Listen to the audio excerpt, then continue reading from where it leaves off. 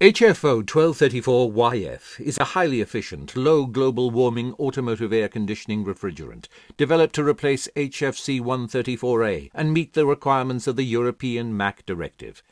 With a GWP of less than 1, HFO 1234YF more than meets the requirements for a GWP of less than 150. In fact, it has a GWP that is even lower than carbon dioxide.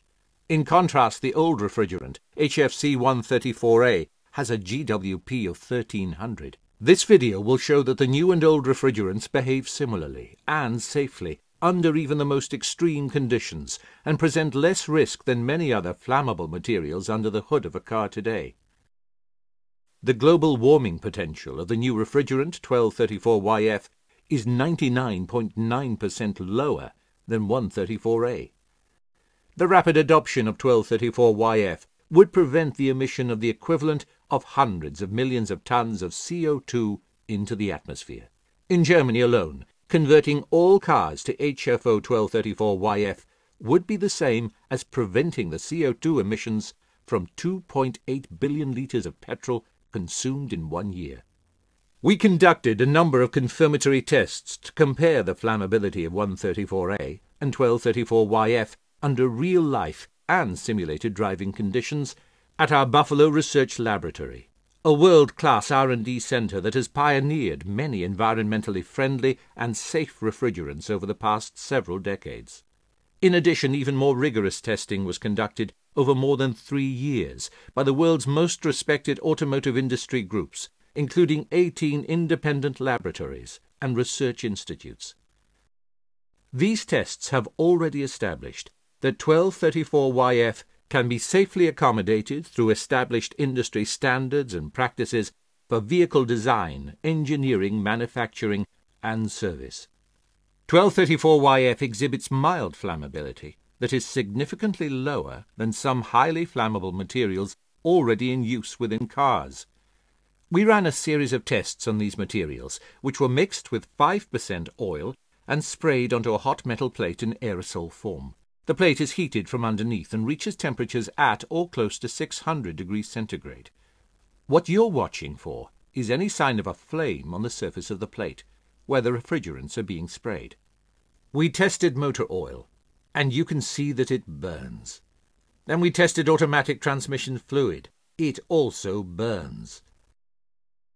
Radiator antifreeze also burns. Compressor lubricant, yet another flammable material common in cars that burns. The same is true for brake fluid and diesel fuel. Next we tested what happens with the two refrigerants under similar conditions. You can see the identical outcomes for 1234YF and 134A. Neither refrigerant burns. The smoke you observe is the oil burning off from the mixture. For all fluids already used under the hood in vehicles, including the ones we've seen in this video that are highly flammable, each car manufacturer has defined engineering and design requirements to ensure safe use of these products. In addition, the auto industry has published standards, ISO 13043 and SAE J639 that recommend using engineering best practices to manage the risks associated with any automobile refrigerants, including 1234YF. These industry standards are proven and safely used in hundreds of millions of cars worldwide. The next test shows what happens when the refrigerant leaks into the engine compartment and comes into contact with hot metal surfaces. We conducted a series of engine runs to identify the highest temperature location in the engine compartment. We did that using infrared thermometry, and then placed thermocouples at the highest temperature location. We installed a valve in the refrigerant line to direct the refrigerant leak to that location. We tested both refrigerants, the current product 134A and the new low global warming product 1234YF. As you can see in the video, as the refrigerant leaks out into the hot metal surface, a white cloud of smoke is formed. The smoke was analysed and found to be oil. It's the same result for both refrigerants. There are no flames. These tests confirm what extensive third-party testing has already shown. The 1234YF is safe for use in automobile air conditioning systems. We cannot afford to lose the environmental benefits from 1234YF that so many others have worked so hard to gain. HFO 1234YF can be used safely as an automobile refrigerant, and it's ready for use by the industry today. To learn more, visit www.1234facts.com or www.1234facton.de.